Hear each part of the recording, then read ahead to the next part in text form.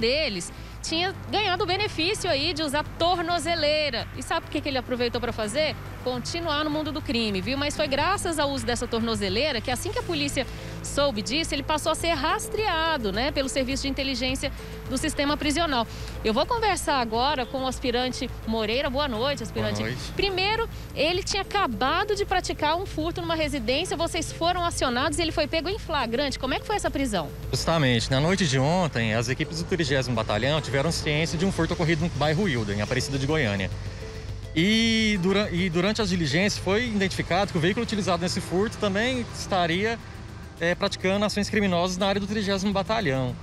Aí nisso, as equipes do 30 juntamente com o sistema prisional, compartilharam informações, conseguindo chegar na localização desse indivíduo que teria feito esse furto. Assim, as equipes do 30 deslocaram até o setor Garavelo, em Aparecida de Goiânia, local que identificou o primeiro autor do furto, juntamente com os produtos do furto, né? Os ares condicionados da casa, os aparelhos televisores também. Essas imagens que a gente vê é, são desse último, dessa última ação Exatamente, é o momento que chega na residência, né, que era locada por, pelo, por, pelos autores para guardar os aparelhos que eram furtados. E aí, o primeiro que foi preso entregou o comparsa. Justamente, após ser dada voz de prisão ao primeiro, ao primeiro autor, ele entregou o segundo autor do furto também, e as equipes diligenciaram, deslocaram até o local e fizeram a detenção dele. E aí recuperaram objetos tanto no carro como na casa que eles alugavam, né? E era já uma prática rotineira desses dois? Era uma prática constante, né? Eles até tiveram uma, a, a, o cuidado de locar uma casa para armazenar esses produtos furtados e também um carro que eles usavam para fazer os furtos era um carro locado. Geralmente, como é que eles agiam, aspirante? É, eram furtos, eles então esperavam que não tivesse ninguém dentro de casa para invadir?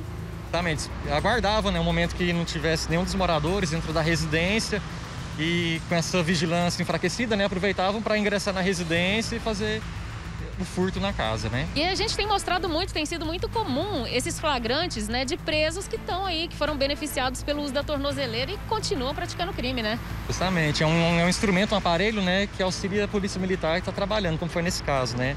Foi possível chegar no autor justamente por. Tá Ajudou a polícia, mas não está inibindo o, o, ladrão, né? Esse, isso é que é o grande problema, né? Infelizmente. Mas novamente, a polícia militar conseguiu fazer seu trabalho, ele vai voltar e vai responder por mais esse furto. Tá certo, então. É isso aí, né, Silvia? E como você costuma destacar aqui, né? Invadir a casa de uma pessoa, invadir o lar de uma pessoa. É o nosso refúgio quando a gente sai de casa, é, chega em casa, aliás, sai do trabalho, lugar de descanso. Então, é a pior situação que alguém pode viver, né?